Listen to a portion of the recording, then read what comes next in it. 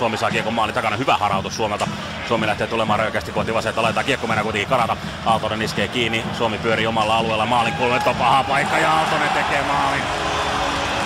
Ai ai ai ai nyt Jimi Suomi veti vähän turha rajattomalla itseluottamuksella ja yritti kikata tietää vapaaksi. Mutta jäi sitten aika pahasti nalkiin oman maalin kulmalla. Kaksi miestä oli vastassa. Suomelta vietiin kiekko ja Aaltonen painaa sen takakulmaan. 15 ja 16 pelattuna ottelun avauserää.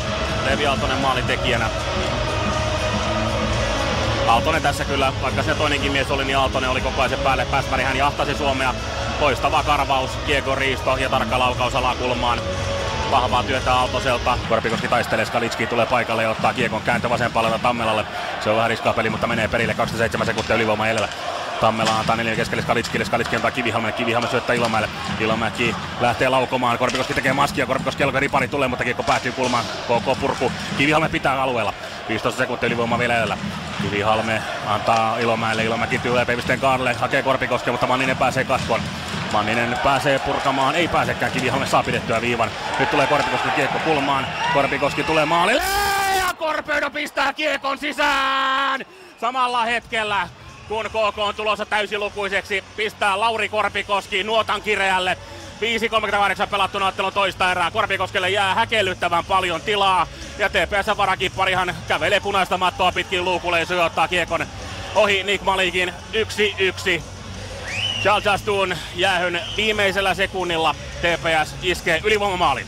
Kulmasta Korpikoski tulee luukulle ja itse asiassa Malikin putkista sujauttaa kiekon sisään selostelu Mikkelistä. En ollut varma, että laittoiko längistä vai sujauttiko takakulma, mutta putkistahan Korpikoski sen aika härskisti pistää sisälle.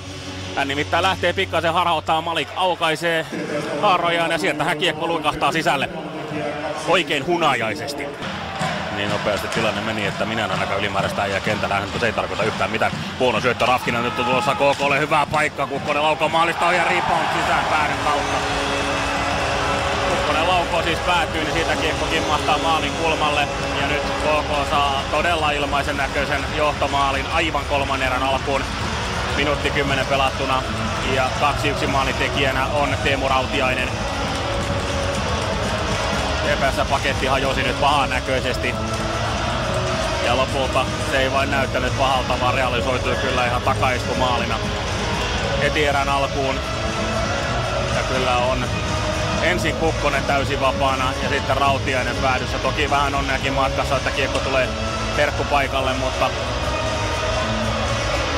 merkit myöhässä ja siitä tämä liemi alkoi muodostua ja saostua ja lopulta siitä keitoksesta maali tulee.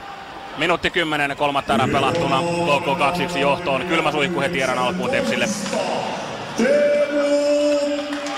Toivon mukaan suihku oli sitten sen verran kylmä, että TPS tässä ravistui hereille ja lähtee taistelemaan vielä tämän ottelun voitosta. Tuomisto lähtee nyt nostamaan hyökkäystä ja tällä kertaa ihan hyvä syöttö taaksepäin Kasmacakille. Kasmacak tulee hyökkäysalueelle, syöttö oikealla laitaan Intoselle, Intonen levittää Tuomistolle. Tuomisto pistää viivalta peliä pyörimään, Intonen saa kiekon oikeaan laitaan, Intolle tulee Pevistien Karle. Intonen laidan kautta Tuomistolle, Tuomisto antaa Kasmacakille. Kasmacak veto paikkaa, laukaus lähtee ja oi mikä veto! Kasmacak pistää ranteet lukkoon ja sieltä vilahtaa, sieltä singahtaa ja mikä tärkeintä, sieltä pölähtää. 40 sekuntia jää Kukkosen jäähyä jäljelle. 7.47 pelattuna ottelun kolmatta erää, kun Scott Kosminen painaa TPS-uran ensimmäisen liigamaalin sisälle.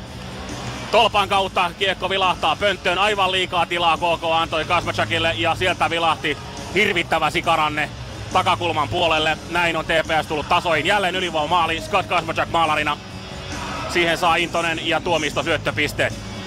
Rautianen jättää Anderssonille. Andersson laittaa päännön kautta kiekkoa menemään, mutta nyt TPS pääsee väliin. Huonosti kuitenkin Tuomisto kiekko eteenpäin pelaa, mutta Tuomisto onneksi paikkaa omaan erheensä ja pystyy nyt syöttämään Intoselle. Intonen pelaa vasempaa laitaan. Näin tulee Skalitski hyökkäys, alle laukaus suoraan Malikin jalkoja siitä kulmaan. Intonen pelaa rännin kautta kiekkoa viivaan. Rafkin tulee viivasta vastaan, ottaa kiekon oikeasta kulmasta ja kartaa maali takaa kohti vasenta laittaa. Rafkin pitää edelleen kiekkoa, Rafki syöttää vierelleen, sieltä löytyy jälleen Intonen. Intonen hakee takatolpalle syöttää, nyt tulee paikka keskelle Kivihalme ei kuitenkaan vetämään. Nyt on paikka, Antoni Reek! 9 minuuttia ja 28 sekuntia pelattuna ottelun kolmatta erää ja TPS nousee ensimmäistä kertaa tänään johtoasemaan. Antoni Rekkitanko painaa kauden neljännen koppansa Ja Rek tuli juuri oikealla hetkellä paikalle, kun irtopala heilahtaa takakulman puolelle. Rekille tulee herkkupala suoraan lapaan ja hän nautiskelee sen. Tästä lähtee Auran Aaltojen neljäs erä. Auran Aaltojen neljännessä erässä äänessä studiosta Jarkko Laitinen ja Kouvolasta Kaukalon laidalta Markku Silvennoinen. Koko TPS siis päättyi 3-2 Tepsille. Upea nousu Tepsiltä voittoon ja aivan kuten Mose sanoi meidän ennakkohaastattelussa, joulukuussa ei enää kukaan muista, että millaisella pelillä tämä voitto tuli. Ja se pitää kyllä kutinsa tänään. Markku ilmeisesti on tehtinyt sinne kaukalon laidalle. Joo, olen kyllä. Ja tuossa äsken kuului aika hyvä ilakoita Tepsin kopista, kun tota, siellä odotettiin Arne Intosta TV-haastattelusta vaan koppi ja sitten alkoi valmentajan johdolla siellä ilmeisesti nyt käytiin pienet palautteet ja voittopuheet. Että tota, no, niin, mukava oli nähdä iloisia ilmeitä tästä, kun vilkasin koppikäytävälle. Kyllä varmasti on Tepsillä nyt oiva ilo päällä ja kyllähän toi matka Kouvolasta Turkuun olisi paljon pidempi, jos olisi turpaan tullut. Onneksi ei tullut. Lähdetään miettimään tuota ottelun ratkaisua. Mä nimittäin mietin pitkään tossa, että virheet ratkaisee noin neljä... Ei, Jarkko, otetaan ihan nyt kuitenkin viisaukset, että kaukalla laidalta mennä. Ari Poisana just tullut tähän mun viereen, niin eiköhän me oteta Moselta suoraan kommentti. Antaa mennä, antakaa palaa. No niin, eli TPS-valvoista Ari Moisanen tuttu tapaan yhteenvetopelistä. No niin kuin mä siinä alustuksessa puhuin, että meidän pitää niin kuin se tavallaan se puolustamisen sydän löytää ja niin kuin tavallaan se aktiivisuus tuohon puolustuspäähän. Ja me ehkä ensimmäisessä erässä vielä oltiin sen kanssa pikkusen telineissä, telineissä ja jouduttiin aikamoisiin myllyihin tuonne ensimmäiseen erään, mutta pystyttiin ne, pystyttiin ne kestää ja jäähyttömästi pelaan se on, mikä on kuitenkin hyvä, hyvä. mutta toiseen erään me saatiin niin kuin tavallaan sitten se peli, mitä me tässä niin kuin halutaan ja mistä me puhutaan, niin me saatiin se niin kuin koko ajan paremmaksi ja paremmaksi. Ja sitten se alkoi tavallaan se peli niin kuin tasottua ja, tasottua ja toi noin tämmöinen hyvä, hyvä vierastaistelu, että kyllä me sinne laitettiin nyt se sielupeli, mitä tässä alussa peräänkuulutin. No sen verran tuossa tuli itsellä mieleen kolmannen aikana, mä muistan viime kaudella, se on aika tyly tilasto, että teillä niin noin pelin keskeisen kulun kääntäminen ei onnistu tulostaululla oikein, mutta nyt kolmannessa erässä kuitenkin tuotte rinnalle ohi. Kuinka tärkeitä tällaiset kokemukset on joukkueelle? No, kyllä ne on äärettömän tärkeitä, että tavallaan annettiin, annettiin niin kuin periaatteessa 2-1 johtomaali, niin äärettömän kamala lapsuus lapsuus, mitä ei tavallaan saisi antaa, mutta siihen ei niin kuin jääty tulee makaa, että päästiin siitä niin kuin yli ja lyötiin vähän kierroksia ja vähän tietysti onni, onni ja hyvä ylivoimapeli, kiitos siitä, niin saatiin toi homma käännettyä, niin kyllä se hyvältä tuntuu varmasti joukkueilla ja miksei nyt valmennuksellakin. Tuossa kun katsoo noita ylivoimia, pakko ottaa siitä kiinni, niin ää, aika hyvin saatte kyllä pysymään tuolla alueella nimenomaan sitä painetta. En mä tiedä, oliko se toisen erän puolella vielä laukauksia kauheasti, mutta kuitenkin niin kun se pyöri koko ajan tuolla, missä pitääkin, niin otettiinko siinä nyt vähän niin kuin steppi eteenpäin mun mielestä? No toivottavasti, että se on ollut meillä vähän tervajuontia, tervajuontia mutta kyllä pojat kovasti sen kanssa tekee töitä niin kuin tuossa veljen välissä ja välipäivinä ja niin kuin seurustelee ja neuvottelee, että miten se paremmin, paremmin saataisiin niin menee se ylivoima. Mutta täytyy aina muistaa, että ylivoiman pelaaminen ei ole kuitenkaan, että se ei ole kauhean helppoa, että nykypäivän alivoimat on kyllä aktiivisia ja osaa asiansa, että kyllä sinne niin oikeasti se työmäärä sinnekin pitää niin ylivoimaa, että sieltä tulee niin tavallaan se tiiveys tuonne maalin eteen ja pomppukiekkoja ja kaikkea, että kyllä ne ajat oh, alkaa olla ohi, että tehdään oikein kauniita ylivoimamaaleja, niin ne alkaa olla niin ohi, että kyllä se on niin kiekon toimitus maalille ja siellä on miestä kuin merenmuta ja jonnekin se sitten poukkaa, että, että semmoinen niin ajatus, että tehdään kauhean hienoja ylivoimamaaleja ja syöttökuvioita, niin kyllä ne on niin semmoisia 2000-luvun 2000-luvun, 90-luvun niin höpö, höpö hommia. No ylivoimasta kuitenkin, niin äh, kaveri, jolla siihen varmaan kuitenkin aika iso rooli kaavautus. Kad Kasmacak nyt maalitili auki liikassa ja se nyt oli aika komea ylivoimaali kuitenkin. Niin, äh, mitä uskot, kuinka tärkeä asia se oli Skadille ja koko joukkueelle, että nyt sitten hän sai kuparisen rikki? No kyllä se niin kuin noille pelaajille, ne tietää suurin piirtein kaikki, että mikä niiden rooli tässä joukkueessa, että joku tappaa alivoimia ja joku te, te, tekee niin kuin ylivoimatulosta, niin kyllä ne sen tiedostaa ja kyllä ne siitä paineita ottaa, jos ei sitä niin kuin tavallaan sitä tulosta tuu suuntaan tai toiseen. Ja ja, ja kyllähän se aina helpottaa, että se kiekko tonne pussukkaan menee. Että ei nämä pelaajat, ei ne semmosia, että ei ne niinku mieti niitä asioita. Että sitä, jos joku näin sanoo, niin valehtelee. Että kyllä kaikki tietää oman roolinsa ja ruutunsa tässä joukkueessa. Ja jos ei se niinku tavallaan se oma ruutu tule täytettyä, täytettyä niinku sillä lailla, mitä sitä ollaan odotettu, niin kyllä kaikki sen tuskan tuntee niinku niskassaan. Että kyllä ne on tärkeitä asioita, että nuo miehet saa niitä maaleja. No nyt on kaksi peliä tällä viikolla pelattu, täysi pistepussi toistaiseksi ja huomenna sitten vielä kotiyleisön eteen Rauman lukkoon vasta hakemaan revanssia viime viikolta. Tietysti nyt tässä on hyvin tuoreelta edellinen pelikin vielä paketoimatta niin sanotusti, mutta tota, no, niin mikä nyt on se ensiajatukset ensi purasu huomisesta? No kyllä, niin kuin ollaan kolme aikaa yöllä tuolla Turussa, niin siihen ei tarvitse paljon mitään keksiä tuohon seuraavaan peliin, että kaikki niin kuin, energiat täytyy pystyä lataamaan siihen, siihen niin kuin, kotiotteluun ja meillä on kyllä karvaita kokemuksia tuossa Rauman vierailulla 6-0 ei saatu hippaakaan, että kyllä me sitä lähdetään kääntämään ja onneksi me saadaan niin Gatorade, niin tiedän, että saadaan se oma yleisen tuki, niin kyllä me pistetään toivottavasti semmoinen ralli huomenna päälle, että tästä on kiva tulla katsomaan. Kiitoksia haastattelusta Ari Moisanen. Jarkko, pistäkö studiosta vähän musiikkia soimaan, nyt toinen haastattelu tähän heti, kun mahdollista on. Näin tehdään. Eli palataan hetken päästä tonne Kouvolaan. Annetaan Markun metsästää sieltä haastateltavaa ja pistetään täältä tulemaan musiikkia. Kuuntelet Auran Aaltojen kiekkoradiota. No niin, täällä ollaan neljättä erää viettämässä Kaukalon laidalla poikkeuksellisesti ja olen saanut viereeni tänään ensimmäisen liikamallista ennen Scott Kasmachakin, joten nyt vaihdetaan kieltä englannin puolelle. So Scott, uh, first of all, let's sum up the game. How would you sum it up? Um, you know, I think it was a good game for us. Uh, you know, we played hard 60 minutes and uh, came back from, you know, we were down and we came back, uh, you know, towards the end of the game. We kept working and, um, you know, some big kills, some big block shots. Our goalie played amazing and, you know, just an all around good effort. But the first period, that was a, it looked like it was pretty even in the first going, up. then it got a bit difficult. They got a couple of really long uh, attacks in, in, your area, and you have to really, really defend. So, uh, was it easy to come back from that? Yeah, I mean, um, you know, we have a game plan here, and we got to stick to it. Uh, coming into this arena here, the ice is really big, so it's a little bit of a different game. Uh, you know, I think they have a little bit of an advantage that way, but I think we adjusted well over the game and you know pushed back and defended well and scored some key goals. Well, one of the key goals, of course, you scored the tying goal on, on, on power play, and I actually just a minute before I mentioned that you had a good sh- shot, and that he hadn't still scored his first league goal, but it, it looks like it's coming, and then there it came, a beautiful shot.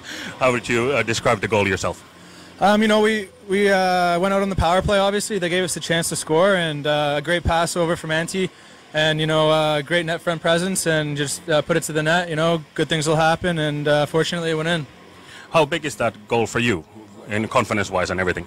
I think it's huge for me. Uh, you know, hockey's uh, you know based off confidence, especially for me. And you know, you, you get one, they come in bunches, and I think that's going to keep rolling and uh, you know trending upwards. And you know, I'm focusing on putting the puck to the net a little bit more, and uh, got rewarded tonight.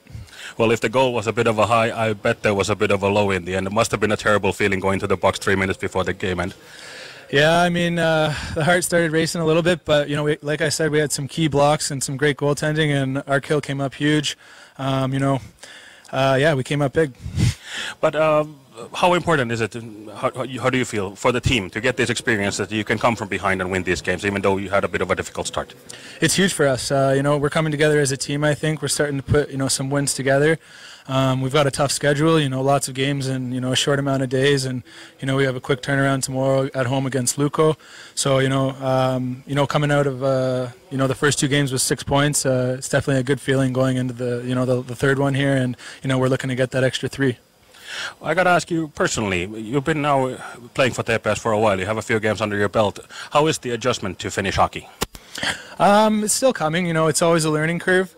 Um, you know, new new teammates, new coaches, uh, different systems. But you know, uh, we're putting in lots of work at the, the, Gatorade Center there, and you know, making sure we're we're uh, hitting the ground running, and uh, you know, uh, can always learn every day. And um, yeah, so it's coming along, and uh, I'm looking to build off this.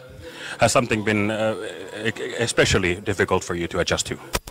Um, I think you know North American style and even uh, different leagues in Europe. It's go go go, and you know you're looking to turn pucks over. And but here it's a lot of sitting back and trapping, and you know analytic or uh, uh, uh, what's the word I'm looking for? More strategy, and you know you have to sit back and really read the game and make sure you're positionally sound. So that's a little bit of an adjustment. And you know, like I said, uh, everybody's working on it, and the coaches are really pushing us to be better every day.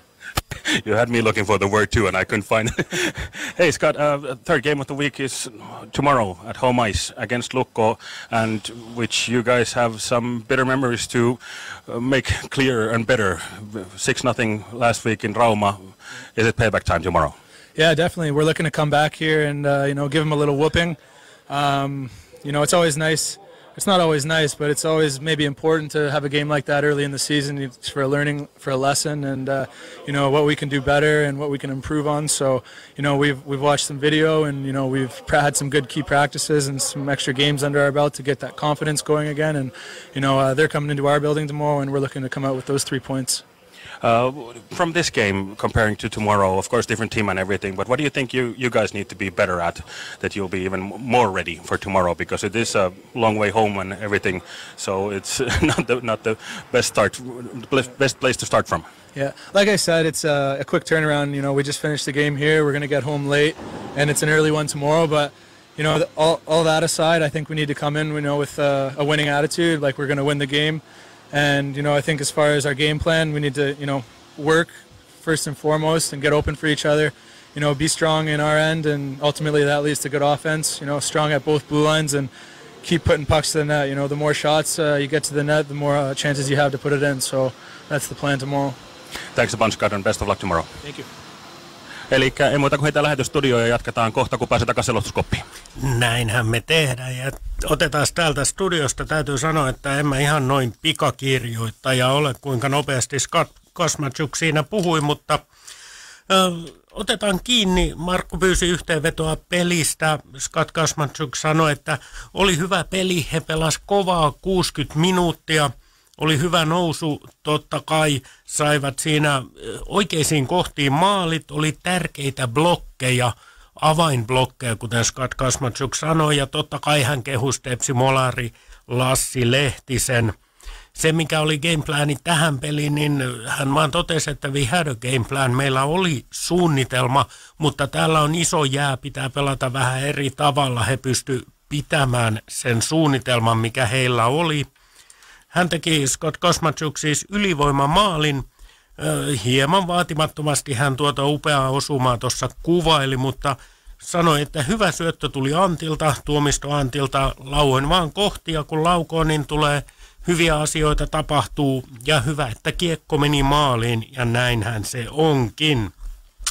Jatkossa pitää vaan enemmän saada kiekkoa maalille ja saada sitä kautta maaleja. Tämmöinen takatuleminen on hyvä kokemus joukkueelle. Tätä kautta joukkue hitsaantuu yhteen ja sitä tarvitaan, koska on aika kova aikataulu. Tässä on paljon pelejä lyhyen tahtiin, niin joukkueen pitääkin olla ö, yhtenäinen. Sitten Scott Kosmachuk nyt ensimmäistä kertaa pelaa Suomessa ja liigassa, niin Markku kysyi vähän noita kokemuksia tästä liigasta, niin – hän sanoi, että uusi sarja, uusi kulttuuri, mutta se vaatii vaan kovaa työntekoa. Ja sitten vertauksena tonne, missä hän on ennen pelannut muun muassa Pohjois-Amerikassa, että siellä on enemmän semmoista mennään, mennään, mennään tyyppistä peliä, kun taas täällä on sitten enemmän tuommoista peruuttelua ja trappia ja sitä gameplania, eli pelisuunnitelmaa. No huomisesta sitten halutaan tietysti Scott Kasmatsukin mukaan antaa Lukolle eh, whooping, eli no pesukoneeseen tai tukkapölyä tai mi- mitä tahansa, että toi viime lauantain 6-0 tappio Lukolle on pojilla mielessä, se halutaan kääntää voitoksi. He on hakenut oppia siitä pelistä, katsonut paljon videoita ja sitä kautta koittaa rakentaa sitä omaa pelisuunnitelmaa. Avainasioita huomiselle Scott Kosmatsukin mukaan pitää olla semmoinen voittoasenne, ennen kaikkea paljon työtä ja täytyy puolustaa hyvin, pitää siniviivat kiinni ja tuon hyvän puolustuksen kautta TPS pääsee myös hyvin hyökkäämään. Näin siis Scott Kosmachuk ja nyt laitetaan täältä studion päästä musiikkia. Hetken päästä jatketaan, kun Markku pääsee omalle toimipisteelleen siellä Kouvolan jäähallissa. Kuuntelet Auran Aaltojen kiekkoradiota. Auran Aaltojen kiekkoradion neljäs erä jatkuu. Ollaan saatu haastattelut purkkiin ja selostaja takaisin omalle paikalleen, joten mikäs meillä tässä on jatkaessa. Markku, mä ehtisin tuon Scott Kasmatsukin haastattelun kääntämään niin hyvin kuin onnistuin ja ehdin pikakirjoittaa muistiinpanot, mutta otetaan tuosta Mosen haastattelusta kaksi asiaa. Mulla jäi siitä mieleen päällimmäisenä. Ensimmäinen roolitus. hän puhui tuon Scott Kosmachukin maaliyhteydessä siitä, että tämä joukkue on roolitettu. Jokainen tietää, mikä on oma rooli ja se pitää pystyä täyttämään. Tämä on semmoinen asia, mikä ehkä helposti julkisesta keskustelusta unohtuu, että jokaisella on oma rooli. Joo, ja sitten se on just monta kertaa mua harmittaa, että just niin kun, ää, vaikka tämmöisten työrukkashyökkäjien kohdalla niin tuijotetaan liikaa sitä, että no ei se ole maali tehnyt pitkää aikaa. Se on silti voinut tehdä valtavan määrän töitä joukkueeseen, mikä on hänen roolinsa. Sitten taas kuitenkin niin Kasmachakilla niin just, että ää, hänet hankittiin tänne tekemään maaleja. Ja sitten vielä just mikä on erityisestä, niin just tämä erityisosaaminen, mikä hän on toi valtava hyvä laukaus, niin sitä Tomi Kallio mulle puhui jo kesällä, kun tehtiin suvivierassarjaa, että, että tässä niin kaverissa on sitä ylivoima, ylivoima pelotteen potentiaali. Tänään nähtiin ensimmäinen vilaus siitä. Se oli hieno laukaus, aivan, aivan upea laukaus. Mutta tota, mut asiallisesti kyllä kehuu sitä maalieduspelaamista ja syöttöä, että siinä vaaditaan totta kai näitä, äh, näitä voi varmaan tukitoimiksi sanoa ainakin maalieduspelaamista, mutta sitä syöttöäkin tietysti, että huonosta syötöstä on vähän heikompi ampua. Niin tota, kyllä tosta kelpas laittaa ja lataa se ja tietysti koko ajan antoi sopivasti hänelle vielä tilaakin. Mutta tota, mun mielestä tärkeä maali. Mä mietin tuossa pelin aikana, että voi kun hän saisi sen maalin, kun hänellä on vähän semmoista yliyrittämisen maku ehkä ollut pelissä. Että on vähän liikaa yrittänyt niin kuin kikata vastustajia ja muuta, niin ehkä tämä nyt tuo semmoista vähän rauhaa hänenkin pelaamiseen. Mä toivon sitä, koska kyllä näkee, että sitä potentiaalia on ja nimenomaan niin tuon laukomisen kautta, eikä välttämättä sen eh, kikkailun kautta. Että kyllä hän on enemmän semmoinen pelaaja mun silmään, jolle se vetopaikka pelataan, eikä niin, että hän itse omilla harhautteluilla sen itselleen tekee. Ehkä hän on tottunut siihen aiemmilla kausilla, mutta tuntuu, että liikassa siihen ei kyllä tila riitä. Ja täytyy todeta, että Scott Kosmachuk ehkä vähän vähätteli sitä maaliansa siinä sanomalla, että ammuin ja hyvä, että meni, että kun ampuu, niin hyviä asioita tapahtuu. Mutta upea maalihan se oli. Toinen asia, mikä Mosen haastattelusta jäi päällimmäisenä mulla mieleen, niin oli toi, mitä hän on ennenkin korostanut meidän lähetyksissä, mutta jälleen se, että ylivoimalla vaaditaan myöskin sitä työmäärää ja se, miten hän korosti sitä, että tämmöistä, että mennään ja tehdään hieno ylivoimamaali, ne ajat alkaa olla vähän takana päin, että siellä ylivoimallakin pitää tehdä rajusti töitä, koska se alivoimanelikko tekee varmasti kovasti töitä. Tämä on myös yksi semmoinen asia, että monesti kun katsotaan, että nyt on ylivoima, että nyt pitää tehdä maali, niin se vaatii älyttömästi töitä. Kyllä vaan, ja sitten tässä on just semmoinen vähän isompikin otsikko saadaan tästä aikaiseksi sikäli, että tota noin, niin, ää, se on monta kertaa, kun vaikka tässä jos ajatellaan, niin kun mekin totta kai näissä lähetyksissä, kun TPS-yleisölle me tätä tehdään, niin me puhutaan TPS-näkökulmasta aika paljon, mitä TPS tekee, mutta kaikki menee kuitenkin aina suhteessa vastustajaan, just se, että jos TPS ei pitkään aikaa vaikka te ylivoimaali, niin kyllä siinä vastustajallekin on silloin osansa. Et kyllä, va, jos, jos vastustaja pelaa vaan niin pinkovaa alivoimaa, että siinä ei ole mitään palaa, niin joskus vaan niin käy. Mutta ehdottomasti sitten taas toi, että ää, jos se omasta työmäärästä jää kiinni, niin se on asia, mikä pitäisi olla kuitenkin suhteellisen helposti korjattavissa se on helppo sanoa täältä, mutta et, tota, yleensä kuitenkin niin työmääräasiat, niin äh, onko sitten väärä sanoa, että ne on asennejuttuja, mutta kuitenkin se, että sä oot valmis vaan lyömään itse likoon siihen, et yritä päästä helpolla, vaan joka tilanteessa sä haluat laittaa itse likoon, niin ylivoimalla myös sitä ei sovi unohtaa, että se, se aika on mennyttä, että vastustaja pelaa sellaisella passiivisella neljöllä ja yrittää vaan pitää syöttölinjat tukossa, vaan kyllä sieltä tullaan ärhäkästi päälle. Melkein jokainen joukkue taitaa kuitenkin pääsääntöisesti tulla antamaan painetta siihen, ei ne anna ilmatteeksi yhtään mitään laukauksia enää.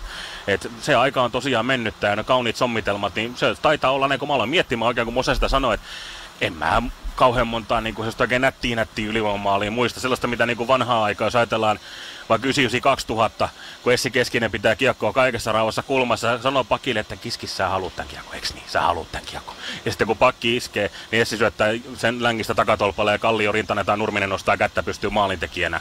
Ne oli hienoja maaleja, mutta ei sellaiselle ole aikaa enää. Keskinen, jos vedettäisiin nykyään katolleen todella julmasti siinä, kun se lähtee, jää sinne leipomaan. Ja Kiekkoradiossa jatketaan neljännen erän läpikäyntiä hiukan nurinkurisessa järjestyksessä. Eli eh, haastattelut on nyt pidetty, ne tuli voitto, maal, voittomatsin jälkeen nopeasti. Hyvä näin, mennään Markku ottelun ratkaisuun. Ja jos mä saan tässä nyt tyhjentää ajatuspankkia, niin ensimmäisenä niin mä pitkään mietin tossa, että tämä on semmoinen peli, että virheet ratkaisee siinä kun oli, oli 2-2 tilanne, mä ajattelin, että ne kaikki maalit on tullut selkeistä virheistä. Että muutenkin on ollut vähän paikkoja, mutta ei semmoisia virheitä.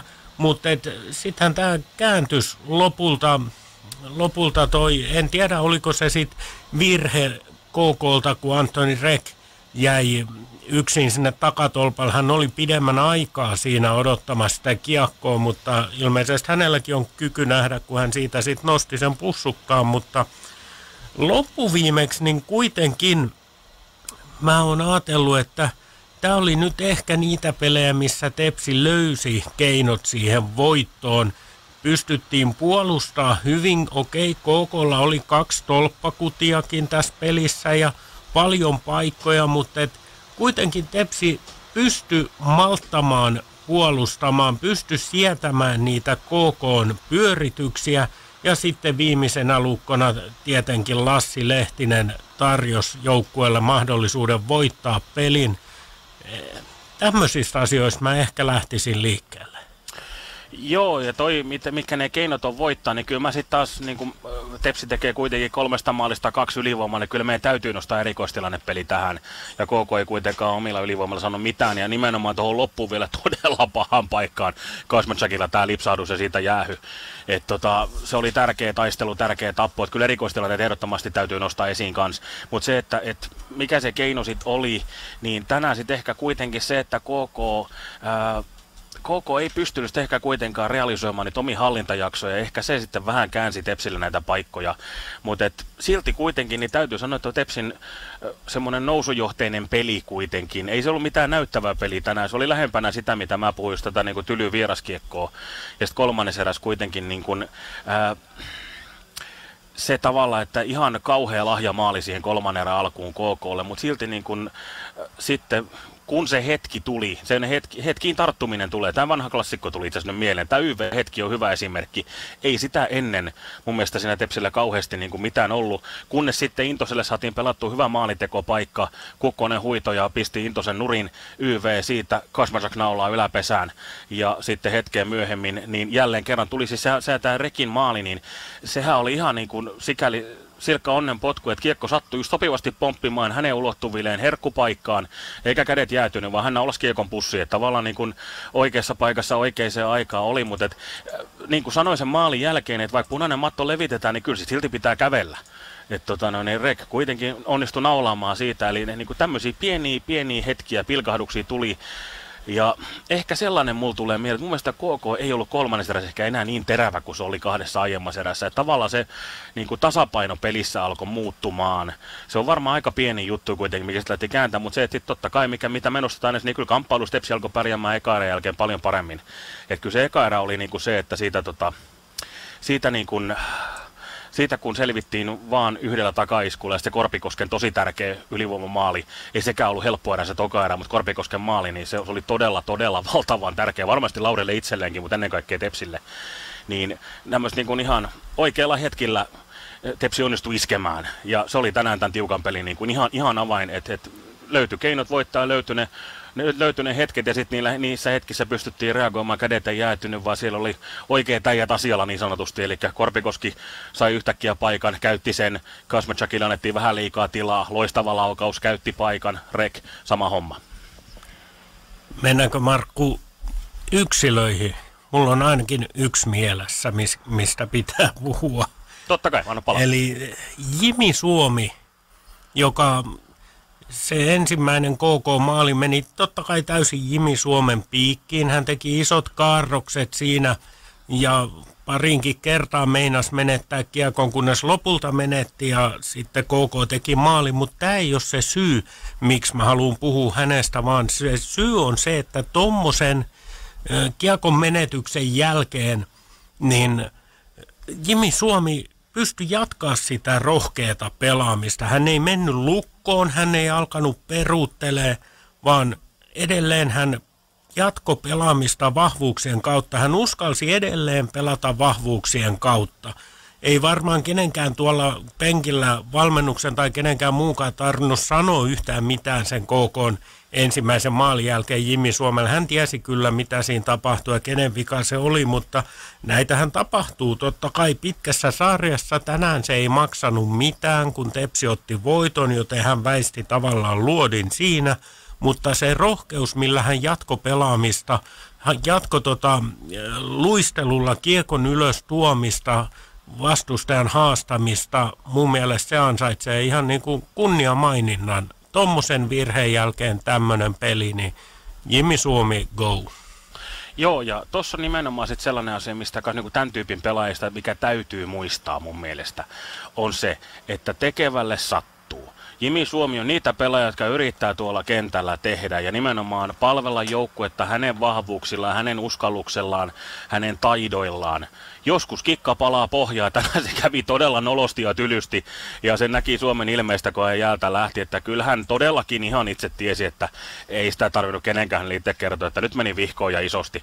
Mutta just se, että, sit, kun hän tietää, mitkä hänen vahvuudet, vahvuutensa pelaajana on, niin ei hän epäröi, epäröi nimenomaan hypätä satullaan nopeasti uudestaan, vaan hän tietää, tietää niin kuin oikeastaan just, että, että ei, ei, ei, ei hänen tyyppinen pelaaja, ei hänen ajattele sillä tavalla. Että se oli virhe, sitten mennään eteenpäin, seuraava vaihto tulee nopeasti, ei muuta kuin sieltä vaan paikkaamaan. Ja, et, tässä niin kuin, just, että mä veikkaan, että ulkopuolelta moni ajattelee, niin kuin, että siinä meni itseluottamus ja sitä ja tätä. Ei varmasti mennyt. Ei, ei. Jos kaverilla on itseluottamusta tuollaista edes yrittää, niin ei se tuollaista yhdestä mokasta horju. Päinvastoin, se antaa vaan kauheasti halu näyttää, että kyllä hän osaa pelata ja seurassa vaihdossa vie niin kuin kahta kauheammin. No en tarkoita, että ehkä hän nyt niin vein, mutta tiedätkö, niin, ymmärrät pointin kuitenkin. Kyllä, siis, kyllä. Et, et, siis tavallaan, että et ei hän niin kuin rimaa lähtenyt nostamaan, vaan ehkä niin kuin sellaista...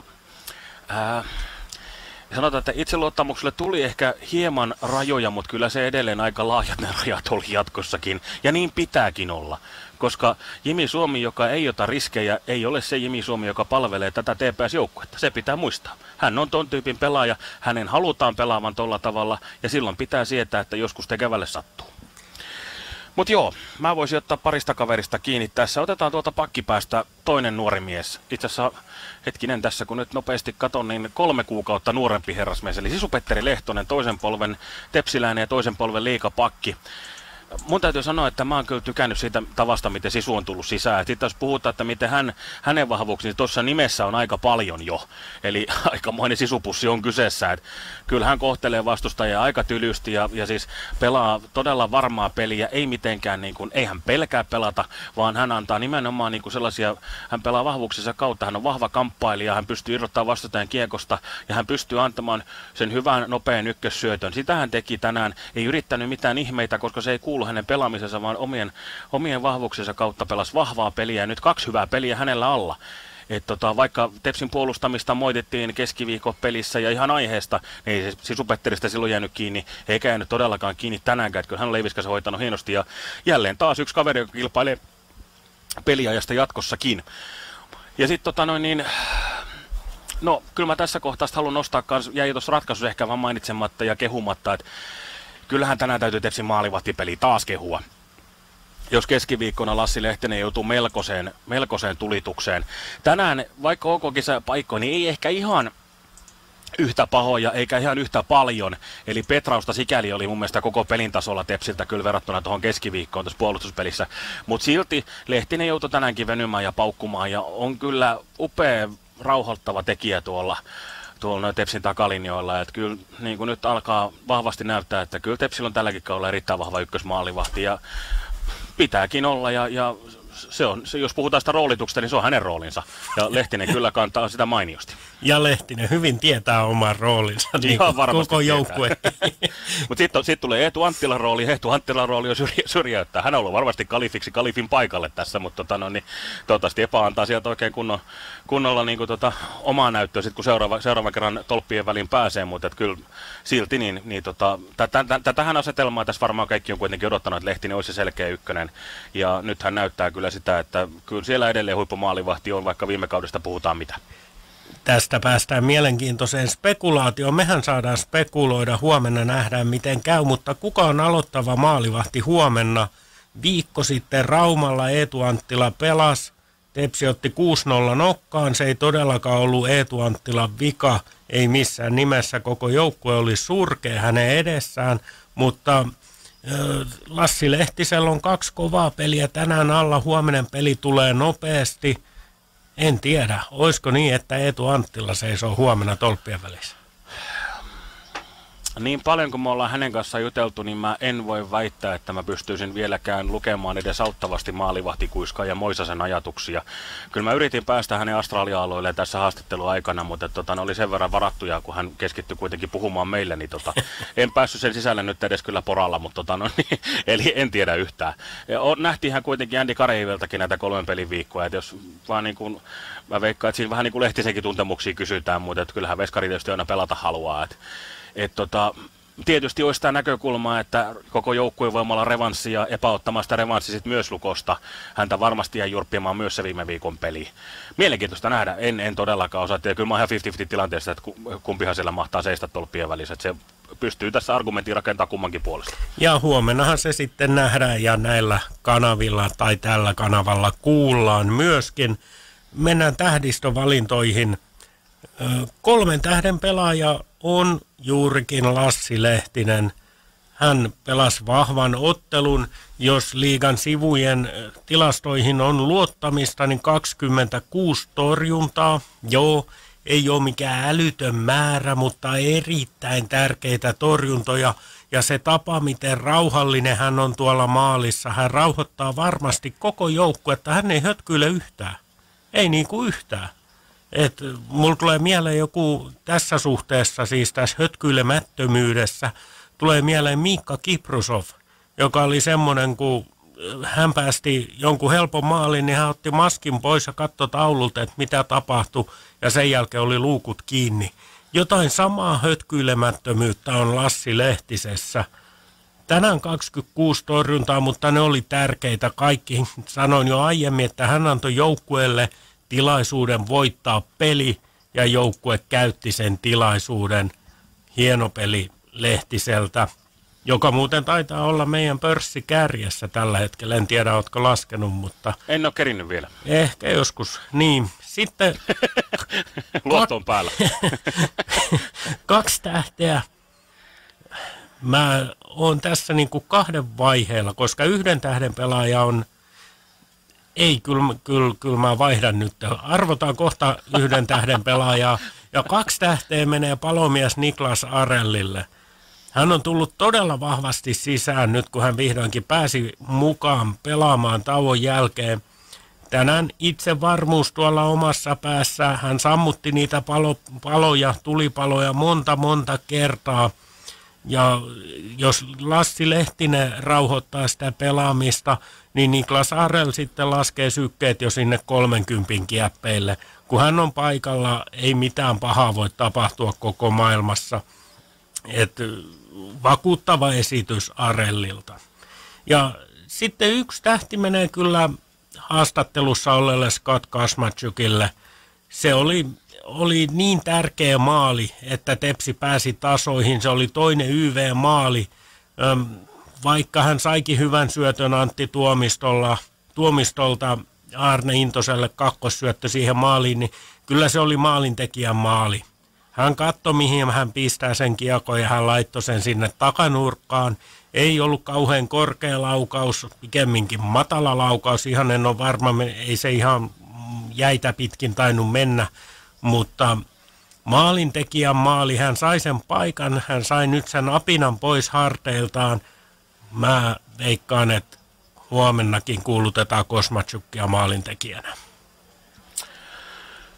Joo, kolme tähden pelaajasta ei saada tälläkään kertaa minkäännäköistä peitsen taittoa. Jos ajatellaan, että kuka oli se tärkein pelaaja TPS voiton eteen, niin kyllä se oli Lassi Lehtinen. Ilman hänen torjuntojaan ei tässä nyt juteltaisi näin ilollismielisiä mielisiä asioita. Se on ihan selvä asia mun mielestä. Ää, muuten kyllä tyhjensi tuossa pankkia. Mutta jos noista niinku rauhallista maalivasta, mutta yhtäkkiä meille Antero Niittymäki sitten taas. Varsinkin just tämän niin 99 kun hän tuli tota no, niin Tepsin mukaan tai edustuksen mukaan, niin silloin sitten mikä rauhallisuus hänellä oli, niin se, se, se on kyllä myös menee tuohon samalle osastolle. Mutta joo, sitten kahden tähden pelaaja, niin kyllä mulle hei nousee esiin, niin kakkoskentän laitaan tänään ensimmäistä kertaa tällä kaudella päässyt Lauri Korpikoski. Mun mielestä oli Korpeidolta kyllä vahva peli et, tota, ei heidän kentän peli välttämättä ihan niin hyvin stemmannut yhteen aina, kun olisi ehkä toivonut, mutta sitten taas toivon mukaan sekin tuosta hioutuu. Mutta se, että miten niin kun hän pääsi nyt, varmaan pelasi enemmän, enemmänkin kuin aikaisemmin, mutta nyt jotenkin tuossa tuntuu, että hän pääsi paremmin nyt esille ja paremmin pelin sisälle ja sitten teki vielä todella pirun tärkeän maalinkin. Mutta mun mielestä just vahvaa kamppailua ja vahvaa kiekko ylöstuntia ja tämmöistä niin kun hyvää työtä, mitä, mitä ehkä tuolta kärkikentistä on vähän uupunut, niin Korpikoski pystyi tuomaan, niin tällaisella esityksellä hän kyllä pysyy tuolla ylemmissä kentissä. mun mielestä oli häneltä, häneltä kyllä niin kuin, uh, melkein sanoisin, että niin kuin, äkkiseltään kun mietin, niin ehkäpä niin kuin, no vahvin peli nyt tietysti tämän kauden puolella, mutta tota no, niin, hänellä on kuitenkin noit, ne TPS-kaudet, mitä hän tässä nyt on ehtinyt vetämään, niin aika repaleisi kuitenkin ollut, niin en tiedä onko niin kauhean montaa, missä hän on kuitenkaan niin kuin ihan tällaisiinkaan päässyt. Että kyllä se aika, aika niin kuin hankalaa on, on hänellä ollut, mutta hieno nähdä, että et, tota no, niin sieltä alkaisi vähän niin kuin löytymään sellainen olo, koska kyllä toi niin kuin muistutti sitä, sitä vanhaa hyvää korpikoskea, siihen on joka matkaa vielä, mutta että näillä onnistumisilla niin näitä tulee lisää, niin ihan varmasti nähdään sitäkin. Yhtä tähteä mä mietin kauan ja mä heitä se Arne Intoselle. Miettii hänen roolia kuitenkin tässä pelissä sitten taas, niin oli syöttämässä Kasmachakin ylivoimamaalia, oli ylipäätään hankkimassa sitä jäähyä ja sitten kuitenkin niin kuin, äh, vähän samaa kuin mitä Arellissa oli sanoi Jyväskylän pelin jälkeen, että kuitenkin Intonen tuossa matsin verran pois, niin hänen mun mielestä niin kuin vaikutuksensa peliin näkyi heti, kun hän oli takaisin jäällä. Että niin kuin häntä oikein niin kuin ymmärsi kaivata siellä keskiviikkona. Ja nyt sitten taas niin kuin niitä tuttuja ine-elementtejä sitä työntekoa. Ehkä ekasrässä hänkin oli muun joukkojen mukana ehkä hivenen tuulia joilla, mutta kyllä Petras paljon ja oli siellä, missä, missä tapahtui niin sanotusti. Niin kyllä ihan positiivisessa mielessä koko ajan mukana. Että tota, no, niin, et, et, äh, hienoa, että ei Ine nyt enempää tässä joutunut poissa olemaan, vaan pääsi tänään takaisin tähän mustavalkoisen sotisopaan ja, ja oli tekemässä hyviä asioita jäällä, niin sen verran positiivisesti ihan mieleen palo, että yhden tähden minulta saa. Hyvä, että otit Korpikoske esille. Hän oli se, ketä arvoin siinä, että onko se Kosmatsuk vai Korpikoski. Markku, sitten on aika päätellä tätä neljättä erää, mutta hei, huomenna jatketaan ja on se sullakin aikamoinen matka vielä kotiin ajettavana. Se on ihan täysin totta, että yritän tässä aika nopean puru ottaa ja sitten, sitten lähteä tota, no, niin, kotia kohti ja yritän aika vähillä pysähdyksillä tulla, että nämä pelijälkeiset höyryt mua kantaisi sitten, mutta kyllä mä veikkaan, että täytyy jossain, jossain kahveella vähän pysähtyä matkan varrella. Mä en tiedä mitä tuossa on, mutta tuon mukaan joku soppi jossain jo auki, että saa sitten vähän kofeiini annosta otettua siinä, että pärjää kotiin saakka, mutta tota, no, niin, No, tilasin. Kyllä mä, mä halusin välttämättä kotiin jo täksyöksi nukkumaan, niin nyt sit se täytyy hoitaa niin, mutta, et, mutta, mutta ei mitään. Täytyy koittaa huilata sen mukaan, mitä pystyy sitten, kun kotiin saakka pääsee. Ja tota, no, niin, että huomenna oltaisiin sitten jonkinnäköisessä iskukunnossa. Se on viikon kolmas peli ja nimenomaan, niin kuin, kyllä mulla semmoinen hyvä revanssihenki tässä kupliin. Se oli meinaan kuitenkin ja en mä siellä yhtä ainoa, yhdenkään ainoa takaiskun aikana jäällä ollut viime lauantaina, mutta kyllä se hirvitti katsoa sitä, kun pojat oli niin kuin aika jaloissa siinä pelissä. Et ei semmoista kiva katsoa tuolla, että hyvät, hyvät äijät joutuu melkoiseen mankeliin ja toki niin kuin ihan aiheesta ja, ja niin kuin oman tekemisen puutteista, mutta et, jos ei se anna sitä oikeaa raivoa huomenna, niin en mä oikein tiedä mikä. Et se on sikäli niin kuin just hyvä, että viikko oli rakennettu näin, että nyt on kaksi täyttä pistepussia, on vähän niin kuin, vähän taas työrauhaa, vähän lisää itseluottamusta ja sitten niin noin ainekset tuohon lauantailta kotona ja joukkojen, miltä sä oot viimeksi ottanut 6-0 kärsään, niin jos viime, viime, tota, no, niin viime lauantaina lähdettäessä sanoa, että oli kaikki vaaramerkit ilmassa, niin mun mielestä nyt on ne kaikki positiiviset merkit ilmassa. Se on hyvin puhuttu, Markku. Ei muuta kuin turvallista kotimatkaa. Kiitoksia kovasti ja kiitos sulle Jarkko ja totta kai kiitoksia meidän kuuntelijoille. Ja huomenna on äänes sitten, eli hetkinen meillä, mitä peli alkoi viideltä, niin puoli viideltä alkaa lähetys siis. Niin tota, silloin kuullaan vanhalta kunnon Gatorade Centeriltä, mutta nyt Kouvostoliiton kiekkomuttari kiittää, kuittaa ja hiljenee. Se on hei hei. Näin päästetään Markku kotimatkalle sinne.